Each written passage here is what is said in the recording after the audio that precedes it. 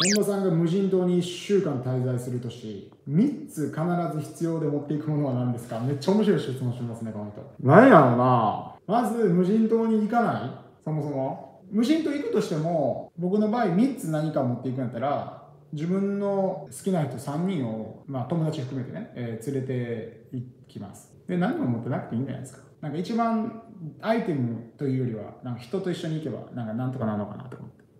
ゼロベース。